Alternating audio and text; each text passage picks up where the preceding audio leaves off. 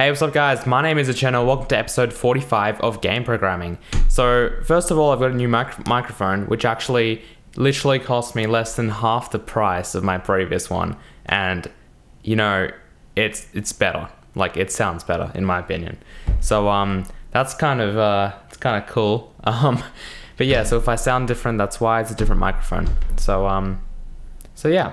All right, anyway, let's get started with this. So last time we talked about the move method and actually finalizing, I guess, the movement for the player. And if we launch the game, apart from these coordinates, we also saw that the game basically functioned as, as it needed to, but we actually, you know, kept track of the player's coordinates, which was pretty cool. Um, now today, we're gonna, we're gonna talk about the player sprite. So we don't actually have a sprite for the player. So if I launch this, what you are seeing actually in reality, let's just go ahead and hide the coordinates. If I go back to game.java, um, in in the game class, the game.java class, I can uh, I'll just get rid of um I'll just get rid of this this draw string thing.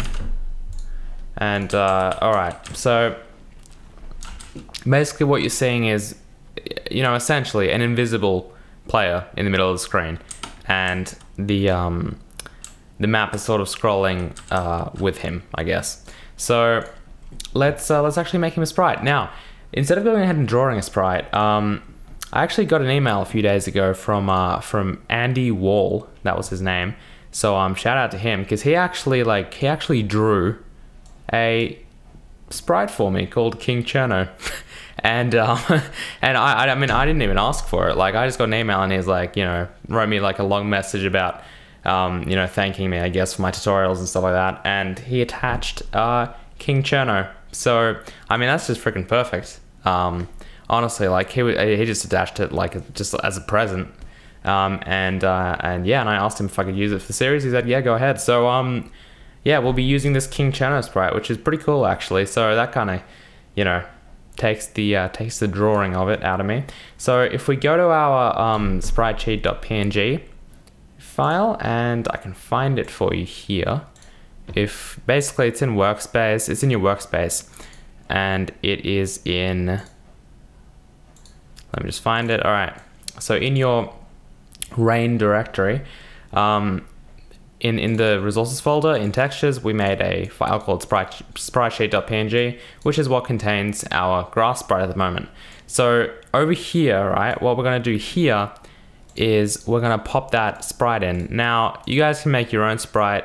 If you really want me to make it available for download this thing, I, I might um, pop a link in there or something with the next next episode tomorrow. But um, as far as this goes, uh, you guys can probably make your own sprite. But uh, here's a sprite, so I'll just pop it. It is 16 by 16. Sorry, I guess that would be 32 by 32, wouldn't it? Hang on, is each square? Yeah, be 32 by 32, so it is quite a large sprite, um, but we'll talk about that today. So, I'll just pop it like, I might actually just pop it down at the very bottom, just because, I don't know, I might make it into a 16 by 16 sprite in the future, but you know, for now, we'll just see what a 32 by 32 sprite looks like. So here it is in our game. Let's just, um, sorry, in, in our, in paint.net, in, in our sprite sheet.png file. Um, so I'm just to save that and it's telling me to save as um, because it's got multiple layers, but I'll just save it as a PNG again. That's what it was before. Just like that. Oops. Save and I'll override it. All right, sweet. So, and we'll flatten, by the way. Um, okay, so now that we've got this King Cherno sprite, we kind of need to like, kind of need to draw it, right? So let's start off with drawing this one right here, the top left one. Um, it's it's first of all, first thing we need to realize realize honestly is that it's it's kind of big, right? It it's essentially four sprites. It it makes up four squares, right? It's got four parts to it. So back in Eclipse here, if we go into um into our sprite.java class, we can actually make it.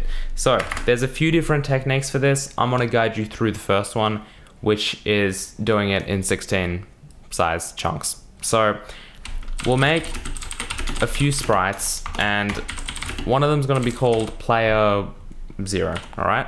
That's going to be like the first part of the player.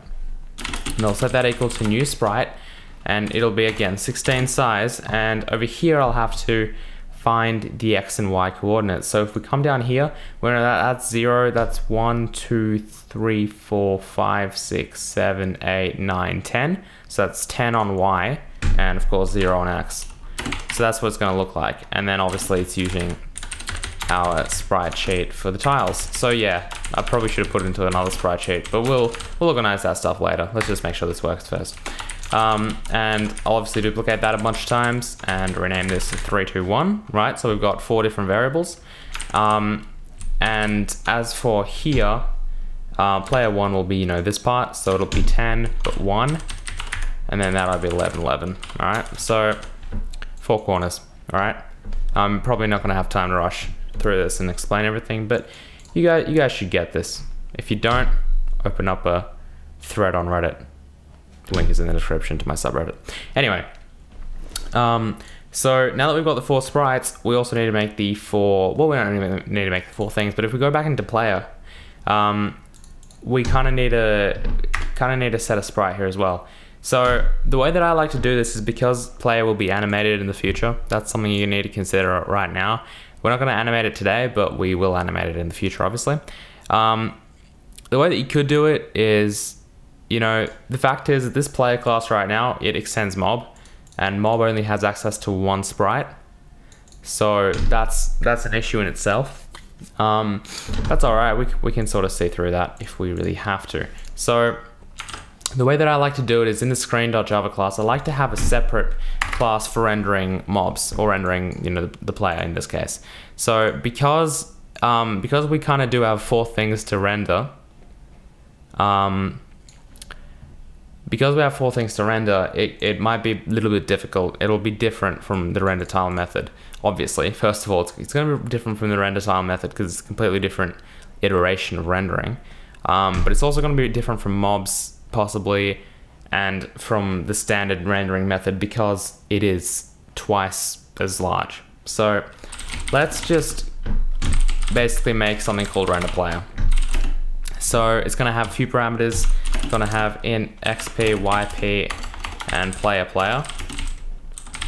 Um, and it's to have the same rendering logic. Let's just copy this method, the render tile method, into here, and then we'll, we'll change it as we need to. So first of all, we know that the size of the player is 32 by 32. Oh no, we'll be doing it in chunks though. So 16 by 16. Um, and let's import player. Um, this stuff, again, I'll just, you know, make sure that we're doing stuff the right way. And for here, um, all I need to do is player dot, oh, but we won't even be doing it that way. So I'm sort of doing this on the fly, by the way. Um, all right, so there'll be four different sprites. So it'll be whatever sprite we feed into it. So I guess better way would be sprite sprite. And then it would be sprite dot pixels and then um, you know our standard x plus y whoops plus y times well yeah sprite dot size do we have a um, well it's gonna be 16 so might as well pop that in here all right so that's gonna give us our basic logic here so if we come back into player, we've got a method here called render, and we can start feeding that stuff in here. First thing we need for render is the screen. All right, that's very important. Uh, the second thing we need is the actual location of the render to be taking place. So the way that, sort of happens is, um, you know, because we're rendering, we kind of need to be rendering it at a specific location, uh, obviously. Um, even though even though you guys might think that the player sort of is in the middle of the screen at all times, that's a very bad way to look at it. Um, because the thing is, like, you don't want to be like, oh, it doesn't matter what where the player is. I'll just render him in the very center of the screen. Yeah, you could do that, but that's not cool. like, that's you don't do it that way, and I could, of course, give you reasons for that. One of the reasons, just off the top of my head, is if you want to like animate a cutscene or some or something that's running on the game engine, you want to off. You, you, you might not want. Basically, you don't. You, you might not want to have the camera centered on the player at all times. All right, you might want to change that. You might want to make it so that the camera is slightly off center, Like if the player is moving really fast forward, you might want to just bring him back a little or something like that. Bring him down a little. Um, there's so many different things to do it. So you always want to be rendering it at the location. What you want to do is set the location of the camera rather than the location of the player to be fixed. All right. Sweet. So one thing we want to do is keep track of where the player is. Luckily, obviously in the entity class, we've got two integers which keep track of where the player is. So over here in render, um, we're just going to simply go screen dot um, render player, yeah, we call it render player, at x, y. So in other words, we're just feeding that stuff in. And the sprite is going to be interesting. So the sprite at the moment looks like it's going to be sprite.player0. Now you, you, guys might be thinking, but hang on a minute, you know, why are we doing it this way? Um, what happened to the rest of the player sprites? And we'll deal with them in a minute. But first of all, we need to really talk about how this screen kind of gets here. So if we go back to the place where it overrides, um, we're overriding screen, which is wonderful, but we haven't actually ever made the screen class visible in an entity before, have we? And we kind of need to, because if we want to access the screen class in player, um, you know, we need to fit it in there. But that's not really a problem because we're going to do that from the game class. So right now, our issue here is the screen gives us a null pointer exception. And I'm sorry, this episode is going to be a little bit longer than usual, but there's a lot to cover here. And, uh, and I really don't want to split it up into two parts because you guys all hate me for doing that. So yeah. Um, but if we go back to our game.java class, Java, I keep saying like Java. if we go back to our game.java class, um, you'll find that we do our player here and to render player, we can simply call in the render method after we render the level player.render and then we can plug screen in that way and now we've got the screen thing so we've solved that null pointer exception because it's feeding screen in from here and over here screen is actually equal to a new instance of that class so that's all lovely and we're probably going to work perfectly um, so that gets rid of that and finally I think let's just run it see what we get all right look at that so we've got the this this guy up here in the top left corner of the um, of the screen. That's that's awesome. So the first thing we need to fix is why is he not, not in the middle? And the reason he's not in the middle is because we actually haven't given him an offset to be at. So what we've said right now is, you know, just be wherever. We haven't really been like, you know, be in the middle. So first thing you'll notice is that, like, it is kind of working perfectly in in a sense. Like it's doing what we intended it to do. It's just not it's just not aligned. That's all. If you check out X and Y, um, you'll see that that is actually where it's rendering them. And as we move, you know, it's it's still there. It's like still in the middle. You know what I mean? Like the this thing's actually moving along with the player. It's just over there. So in other words, if we were to do something like x plus the um, 300, and let's just say y plus 20, right? Then you you know you'll see that that, that doesn't work. You know that doesn't work. So in other words, you know this is having an effect of where the player is, and at x and y it's working perfectly. So let's jump back into our render player thing. Um, and you can see that that's sort of how we're playing around with the offsets.